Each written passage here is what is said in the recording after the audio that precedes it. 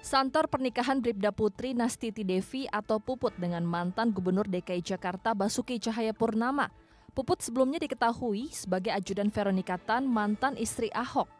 Kabar pernikahan ini pun dibenarkan oleh Lurah Pasir Gunung Selatan tempat Bribda Puput tinggal. Lurah Pasir Gunung Selatan mengaku sudah menandatangani surat pengantar numpang nikah pada 17 Januari lalu. Saat itu, ayah Puputlah yang datang untuk mengajukan surat pengantar numpang nikah ke Disduk Capil Menteng, Jakarta Pusat. Surat itu ditandatanganinya dengan tertera nama Bribda Puput dan Basuki Cahaya Purnama. Namun tidak diketahui jelas kapan dan di mana pernikahan itu akan dilangsungkan. Coba Anda cari lagi yang udah pernah nikah. Ya, eh, apa?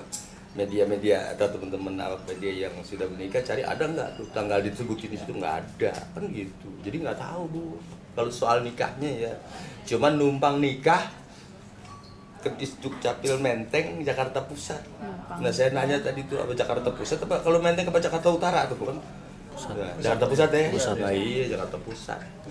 Sementara itu saat dikonfirmasi wartawan terkait rencana pernikahan Bribda Puput dengan mantan Gubernur DKI Basuki Cahayapurnama atau Ahok, Sucipto dan Sunarwati, paman dan tante Bribda Puput justru mengaku belum mendapat kepastian kabarnya.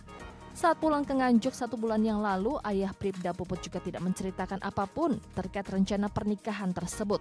Enggak betul. Yang benar Tidak. gimana Bu? Ya tidak, ya belum. Hmm. tidak Jadi memang belum dikasih baju pengantin. Belum, belum, belum. Artinya seragam apa pun belum ada ya Bu? Tidak. Sampai saat ini tidak. Kapan? Sama sekali tidak ngerti. Ngertinya di sosmed saja. Kalau Hmm. pihak keluarga enggak. Sucipto dan Sunarwati juga memastikan kabar yang menyebut keluarga di Nganjuk sudah mendapat kiriman baju seragam untuk acara pernikahan Bribda Puput dan Ahok adalah kabar bohong. Keluarga mengetahui sosok Ahok hanya melalui media. Dinilai sebagai pemimpin yang tegas dan baik, maka jika benar Ahok dan Puput akan menikah, keluarga merestui. Tim Liputan melaporkan untuk NET.